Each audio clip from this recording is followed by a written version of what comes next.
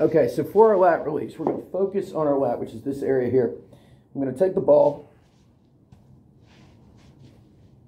I'm going to put it in this area. I'm going to let it sink in. You kind of see it right there. I'm going to support my head. Okay, I'm going to start with it low. Okay, so actually maybe even a little bit lower than this. This area here. Again, finding the sore spot. Like for me, it's right there. I'm going to breathe in with my arm low.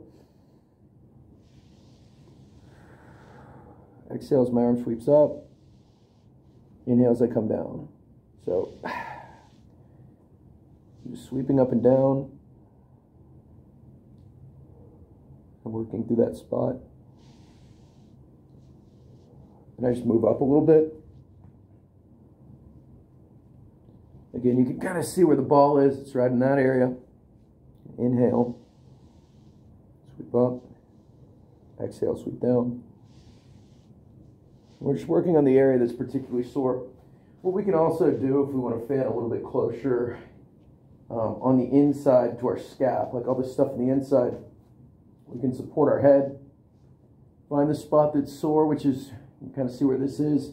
So now I'm a little bit more, a little bit under the shoulder blade or closer to the shoulder blade. Okay, breathe in.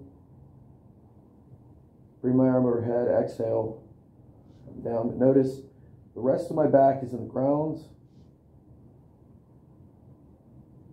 Not arching at all. Again, I'm just kind of moving along my, my shoulder blade, moving up a little bit.